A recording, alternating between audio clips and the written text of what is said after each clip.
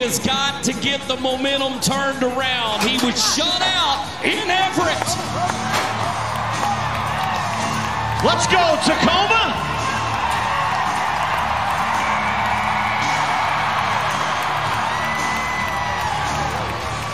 What's up, Washington?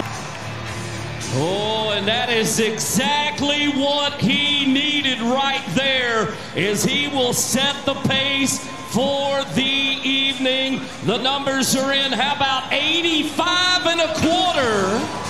85 and a quarter to get us started. Brady trying to get to the World Finals. Oh no! Doubt.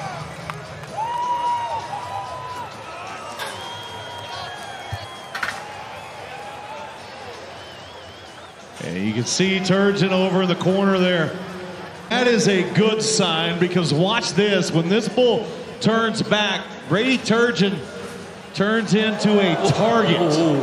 Look how incredibly close he was multiple times to a a little bit of noise for that young teenager right there. He's got a bright future.